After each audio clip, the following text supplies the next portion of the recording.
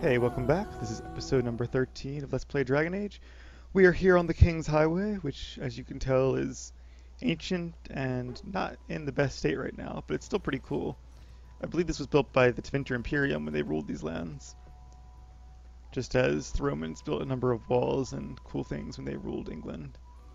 Although nothing quite like this, but I guess the aqueducts could kind of compare. Um, it's kind of cool too how like it's damaged here, which is why you have to go all the way through Lothering and can't just keep walking north, but it's a nice stop anyway. It's a good location to build a town. I like even the windmill here is you can't go in it, you can't do anything with it, but it's a nice bit of backdrop. It Makes the place seem a little more real. But our time in Lothering is done, so we're going to stop loitering around and head up north. Quest completed. Oh, the Lothering quest, I think, right? Yep, Gather your party and venture forth? Yes, please. Um, what is this? Are we going to choose a location or just venture forth? Maybe another cutscene coming up? Or a dream?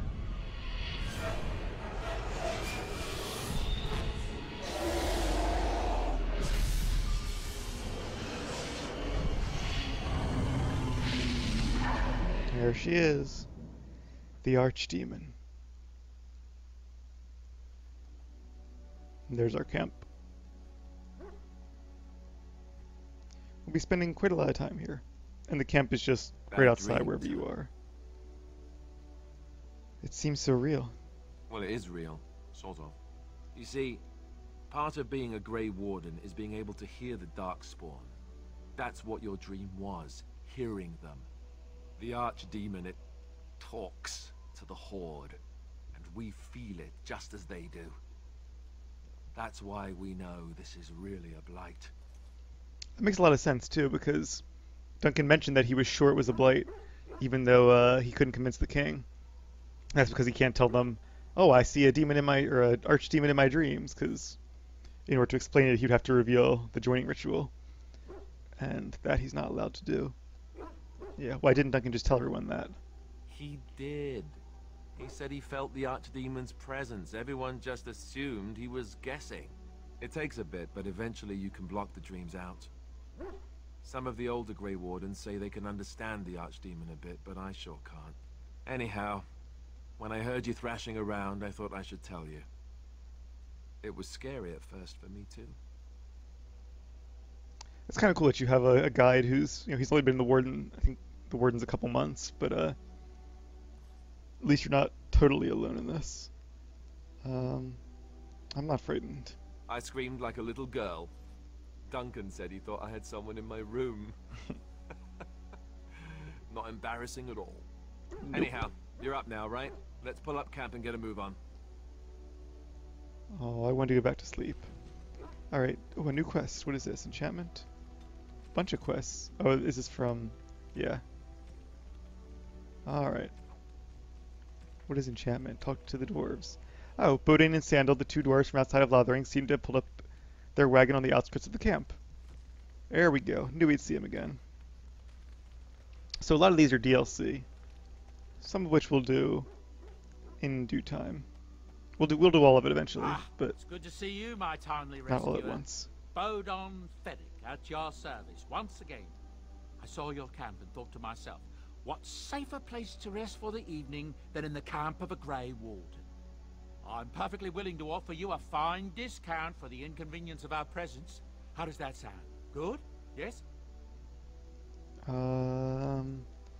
I don't think you can actually tell him no. But I wouldn't want to.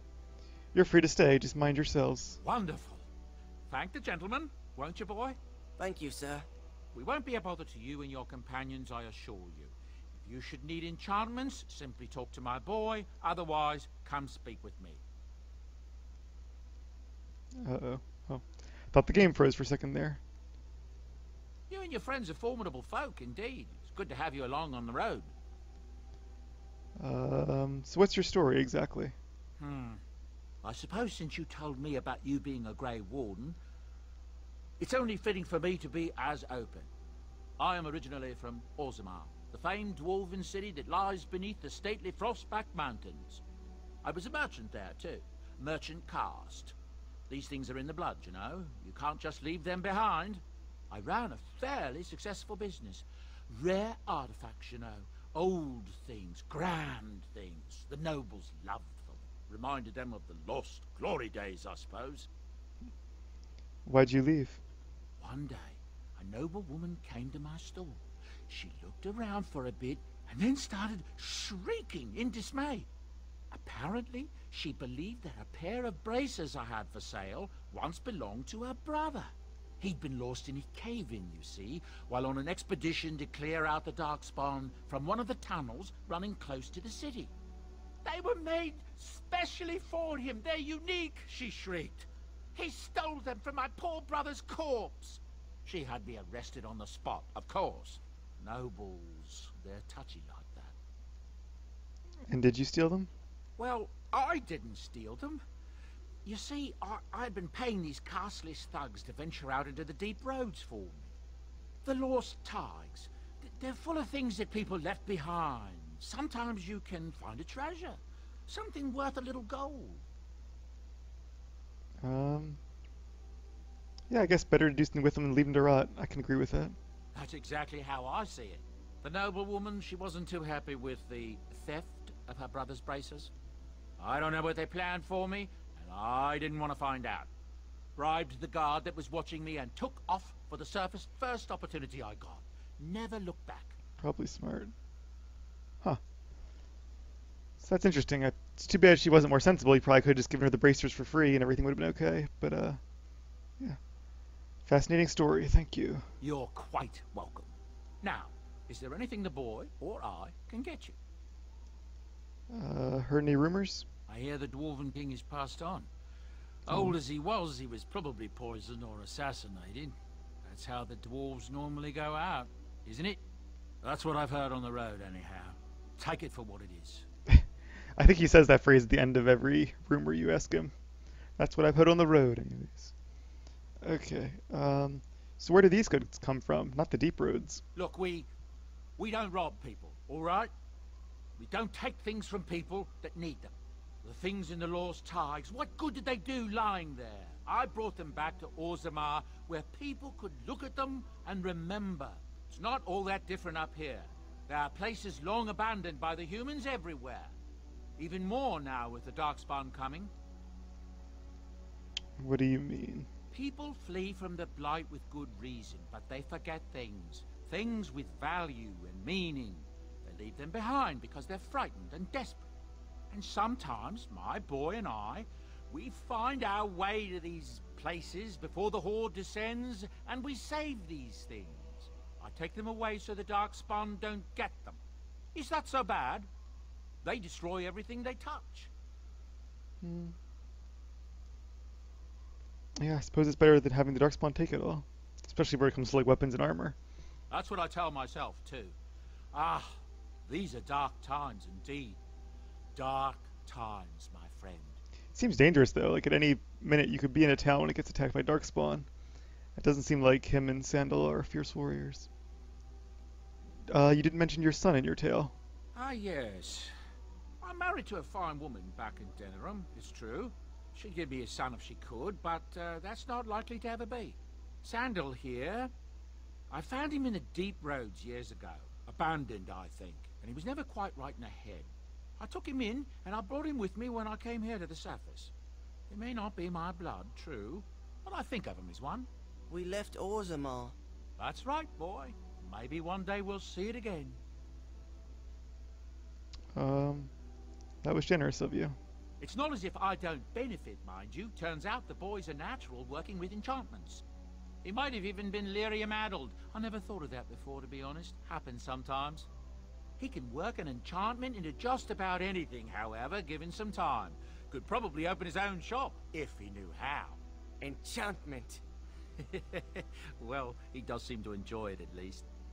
Seems like a good uh, relationship there. He seems like a good father for him. Handles the business end, and his son does uh, the enchanting. All right, let me see your wares. I'm sure you'll be pleased with the goods my boy and I have collected. And with your discount. All right. Yeah, the game is stuttering again, but Now, I think he actually gets different wares as you go through the game, maybe? Or maybe he just has a bunch of good stuff already. He definitely has a lot. I'll give him that. Um, okay, so these things that are cost nothing are uh, gifts for the DLC that I have installed. And these are just other gifts you can give them. Backpack that increases inventory capacity by 10. It's very expensive though. But we probably should buy it. We'll go through and do all the, uh, what do they call that? Festive Day or something? Something Day. It's basically April Fool's, the equivalent. I think they released that DLC during April Fool's. A lot of runes, which are nice. They give uh, extra damage to your weapons or to your staff.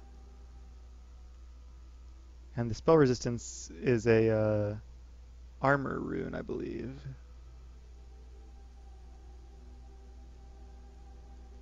Some nice rings. Some pendants. The spell ward is one of the best amulets in the game, I'm pretty sure.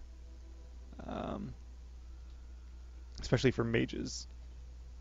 However, it is very pricey. There's a nice collar. An enchanter's cap. Some shields. Alright, so there's the rest of the Blood Dragon armor too. That's another DLC that I have. Um, you can get you get one piece automatically, the Blood Dragon plate, and the rest you get from this guy. We're probably not going to buy anything now though. In fact, we can. Can you equip everybody in camp? I think you can. Yes, you can. That's very helpful. So let's give him this better plate now that we have his strength. Nice and silver. Uh, we'll give him these boots because they're better. These gloves are better. And any hats? Not really. What about Sten? Sten could probably use some of this stuff too.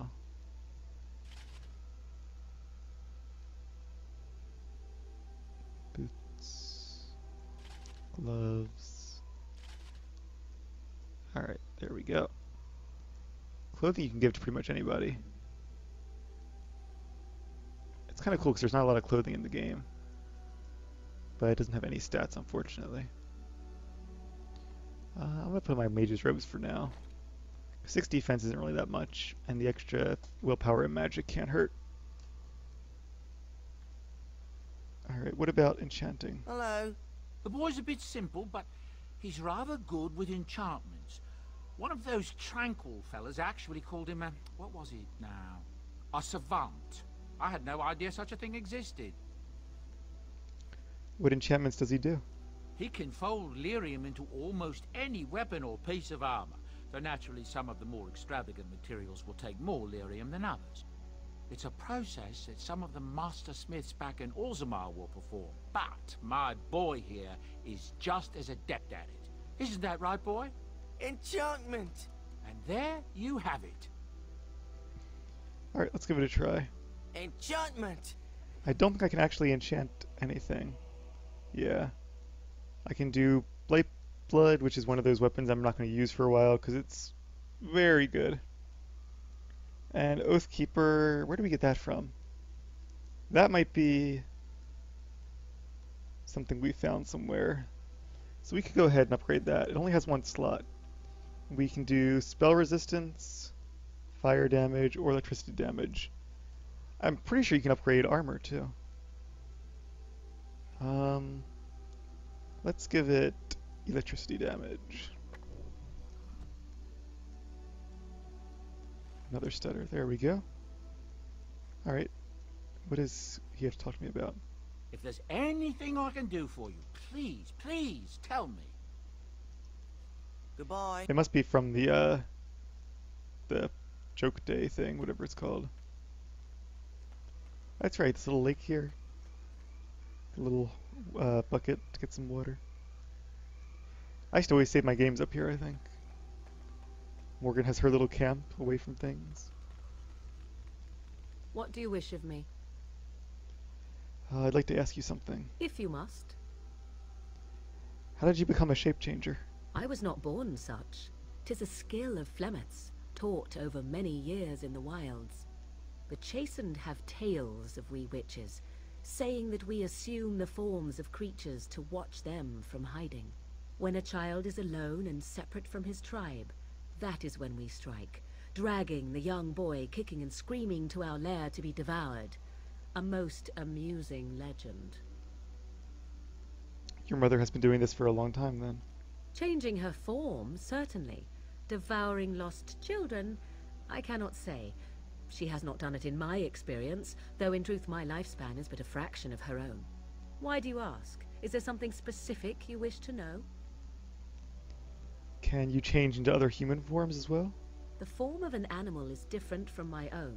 One may study the creature, learn to move as it does, think as it does. In time, this allows one to become as it is. I gain nothing by studying another human. I already am the same as they are. I learn nothing. So the answer is no, my human form is the only one I possess. Can anyone become a shape changer?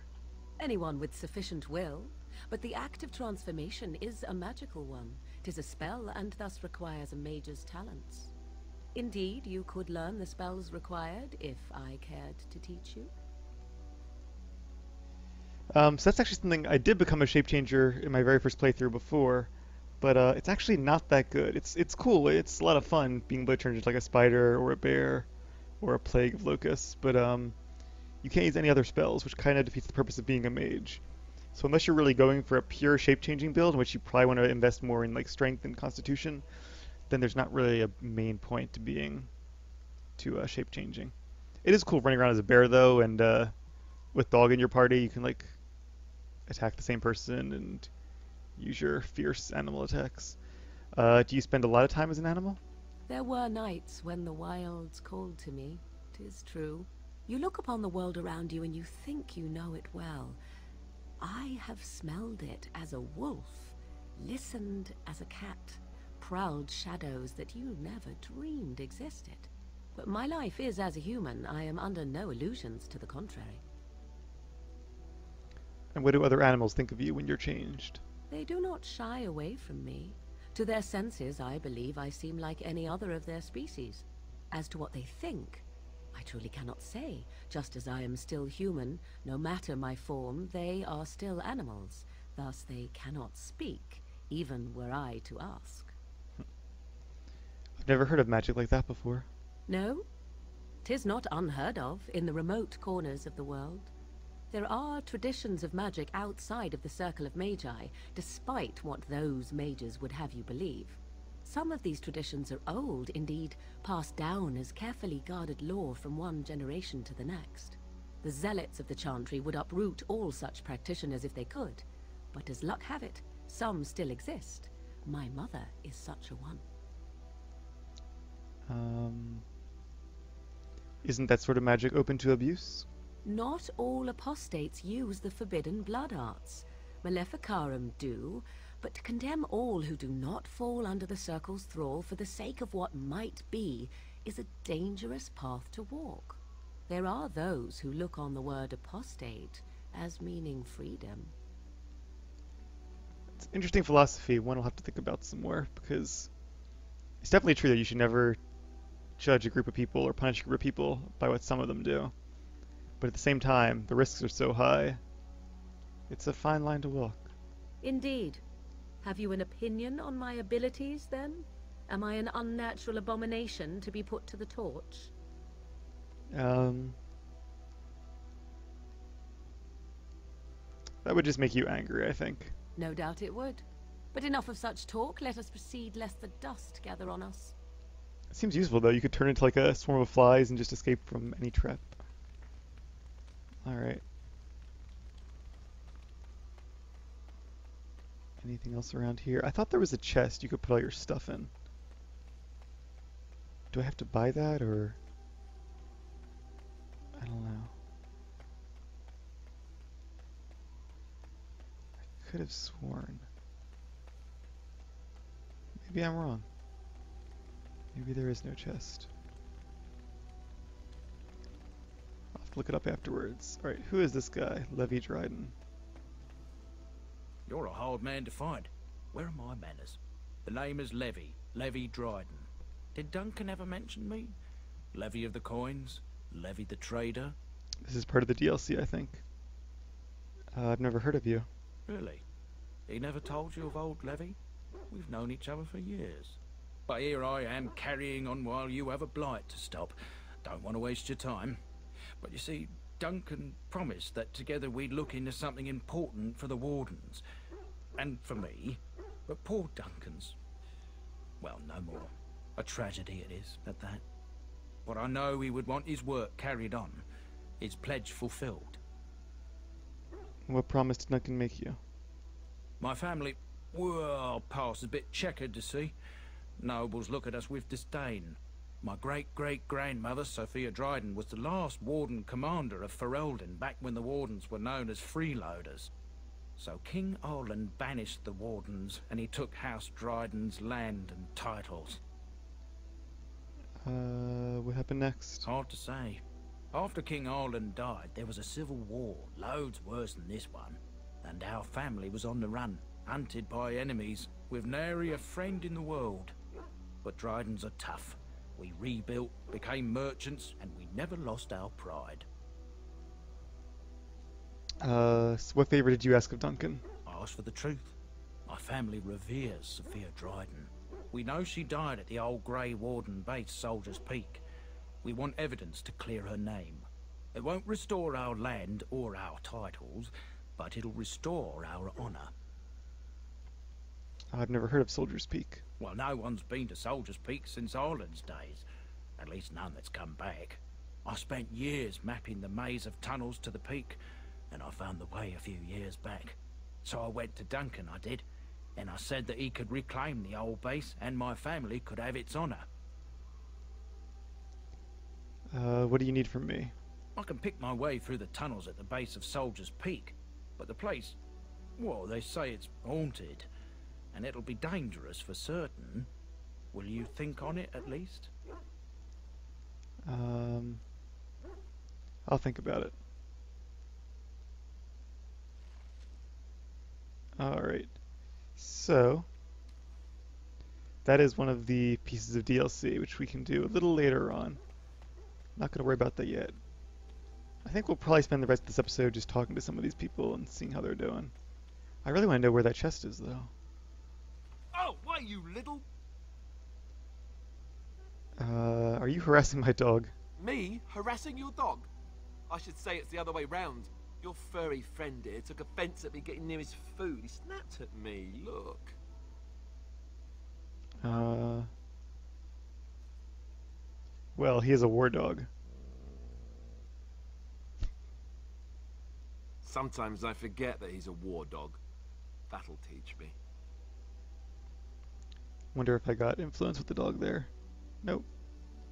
Wonder if you can get influence with the dog. Probably. How are you doing, Leliana? Yes? I'd like to talk.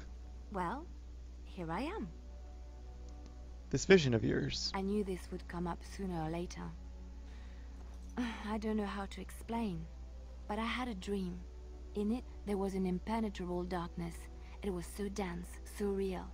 And there was a noise, a terrible, ungodly noise. I stood on a peak and watched as the darkness consumed everything.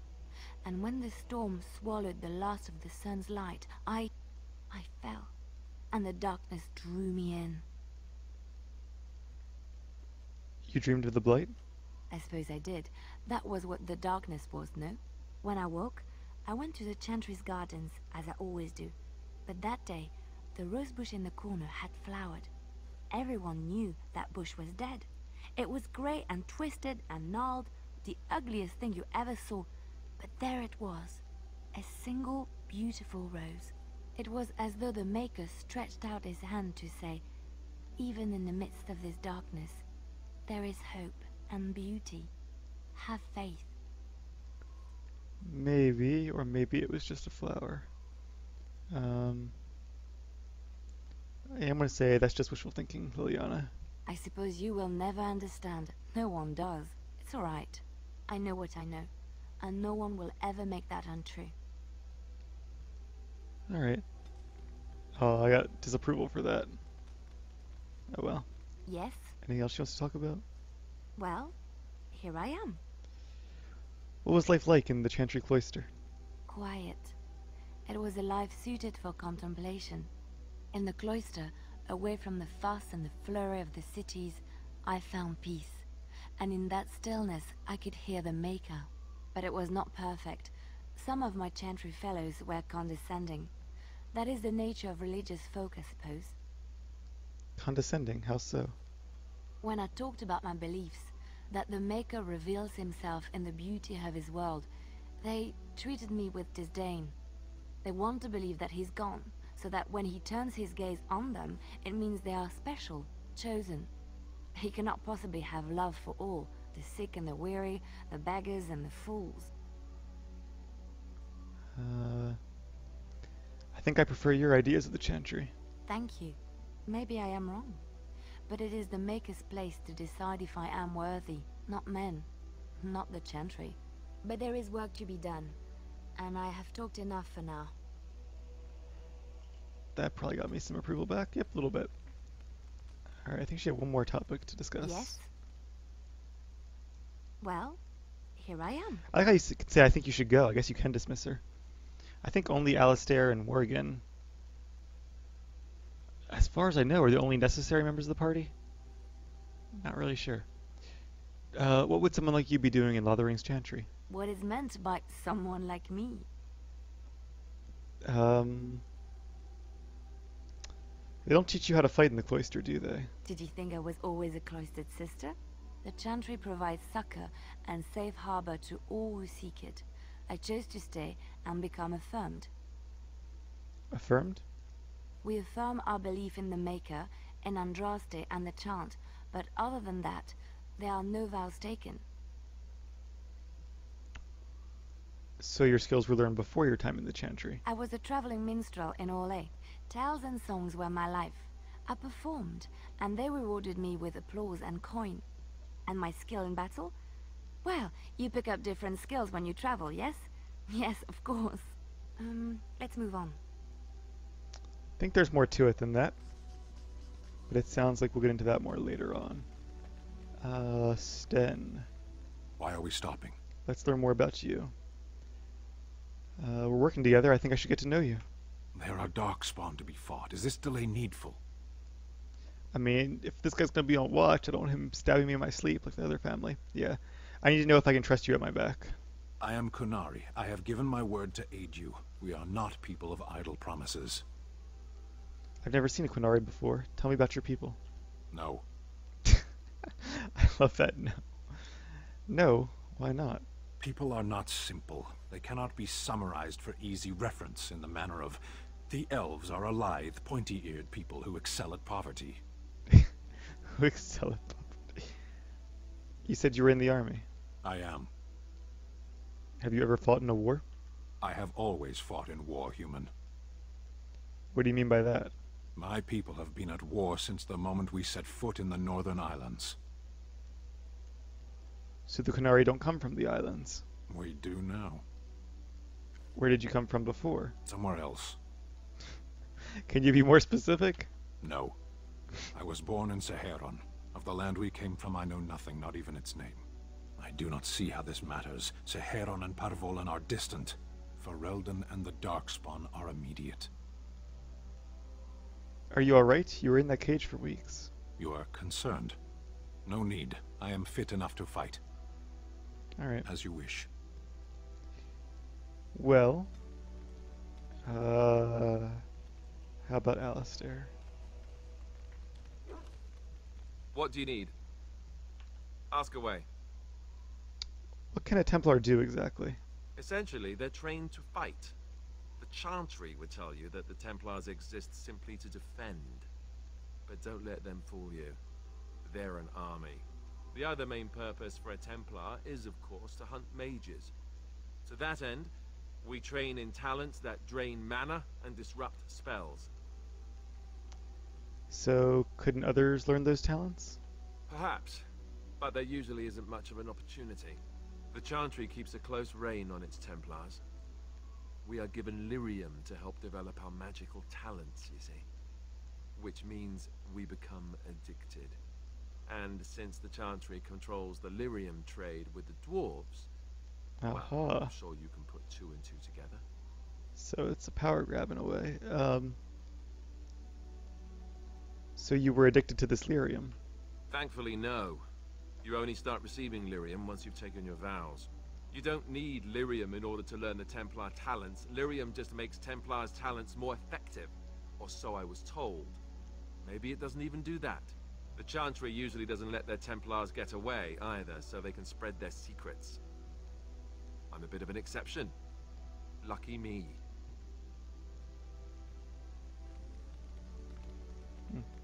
Anything else? What do you need? Ask away.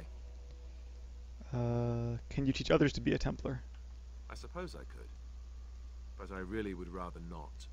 When the Grand Cleric let Duncan recruit me, she made me swear never to reveal Templar secrets outside of the Chantry.